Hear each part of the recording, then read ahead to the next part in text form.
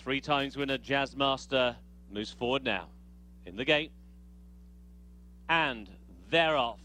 A step slow, Zajesal. The very fastest away was Strong as Stone. Strong as Stone takes the early lead. The favourite Dr. Rhythm goes with him on his outside, racing in second. A length and a half, Jazz Master is in third place. Already, they are well strung out. Zajesal has now taken fourth, shown speed having dwelt at the beginning. On the outside, Chaffee John is racing next, followed by Honourable Nature towards the inside.